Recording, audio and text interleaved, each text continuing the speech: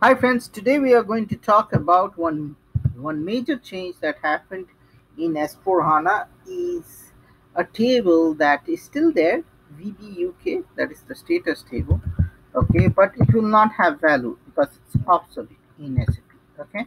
So VBUK is the header status and very important and has all the administrative data and all those things. Now the next question would be where then the data will be stored the data will be stored in tables like VBAK and LIKP. So I'll just give an, uh, so we'll just do a uh, various list of this field, okay?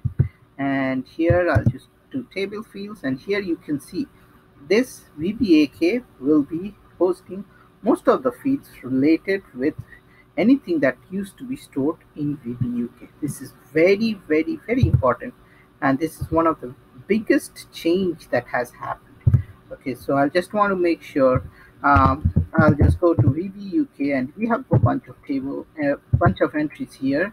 So VB UK, you see there's nothing. And now I'll just do the same.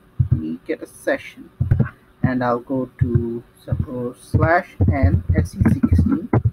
Okay, lots of people tells me why I don't use SE16N. It's just, it means I am habituated. I'm a little old, old, old school so I still use the SE16 I mean not that it's different but so here I go to VBAK and I'll probably do some I'll try to find the status field that is there. So I'll go here I'll go here and I'll try to find this field. And here I'll just do I'll bring in this field. And you can see here reference not equal to and here you can see there's 40 entries. So this this shows that this has changed. So this is very important.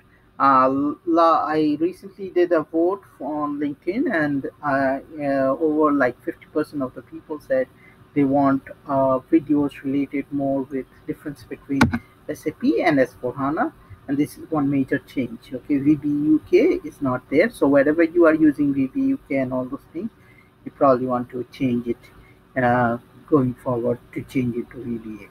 Okay, so that's it. Stay tuned to my SAP channel and happy SAP learning and have a great day.